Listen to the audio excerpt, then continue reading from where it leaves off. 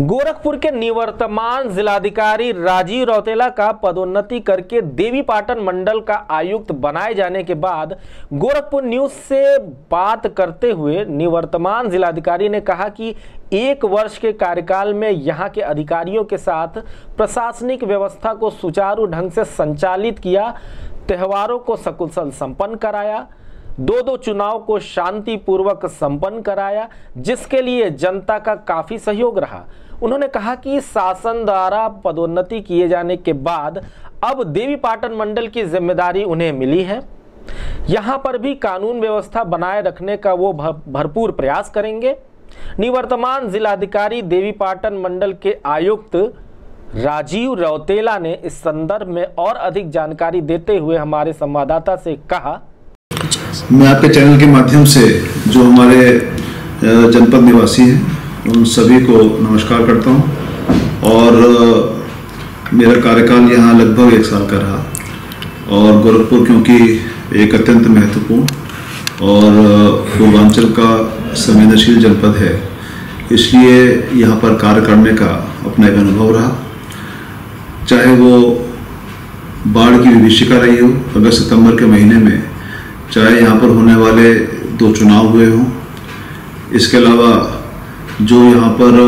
उत्तर प्रदेश शासन की महत्वपूर्ण योजनाएँ संचालित हो रही हैं, चाहे उनका क्रियान्वयन हो, चाहे जनता की समस्याओं के समाधान की बात हो, इन सभी में जिला प्रशासन ने बहुत दिन रात मेहनत करके अपने कार्यों का निष्पादन किया है। अधिकारियों की टीम यहाँ पर उच्च कोटि की रही है और जो ऐसा समय रहा जब हमारे महत्वपूर्ण त्यौहार विभिन्न समुदायों के एक साथ पड़े तो उसमें पुलिस और प्रशासन ने एक साथ कंधे से कंधा मिला के और बेहतर सुनियोजित पूरी प्लानिंग के द्वारा और दिन रात परिश्रम करके इन सभी त्योहारों को शांतिपूर्वक भी संपन्न कराया। एक पूरा इवेंटफुल पूरा साल ये रहा है और इस बात की बहुत संतुष्टि मुझे है। कि हमने इस जनपद में शांति व्यवस्था बना के रखी विकास के कार्यों को नया आयाम दिया और जनता में जो एक विश्वास है पूरे प्रशासनिक व्यवस्था के प्रति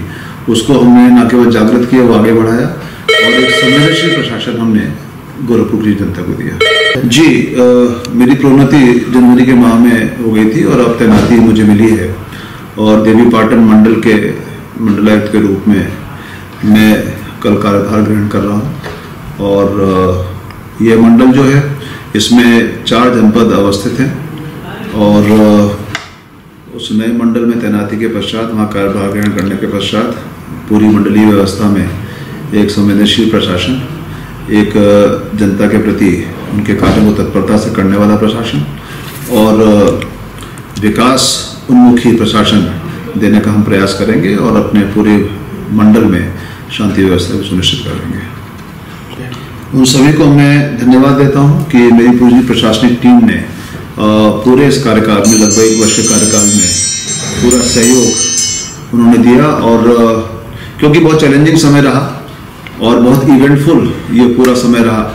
तो सभी अधिकारियों ने, सभी विभागों के, केवल प्रशासन ही नहीं, साथ में पुलिस विभाग के अधिकारी, साथ में विकास विभाग के अधिकारी जितने भी डिपार्टमेंट जो सीधे जिलाधिकारी के प्रति जवाबदेह होते हैं। उन सभी ने बहुत परिश्रम से काम किया है। उन सबका मैं आभार भी व्यक्त करता हूँ और उनको शुभकामनाएँ देता हूँ।